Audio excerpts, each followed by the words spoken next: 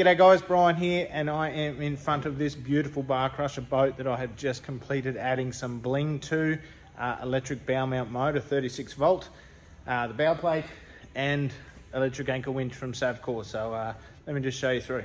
Right, first off, we've got electric drum winch is installed. We've installed that as low as I could possibly get it, which is really good, uh, including the uh, chain sock, which is great.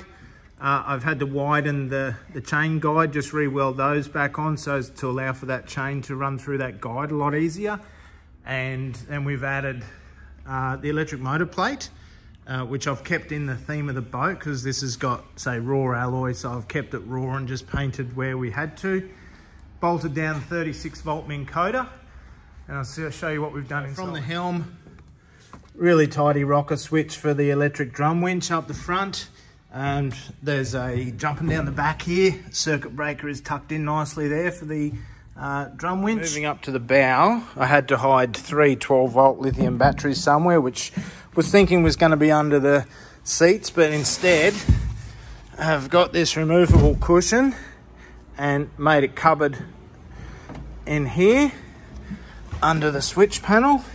Customized battery trays and so we've got three 12 volt batteries hidden in there. Uh, set up to an Anderson plug circuit breaker which runs out to the electric motor. And we just undo our Anderson plug and plug in our 36 volt battery charger. And you're all set to go.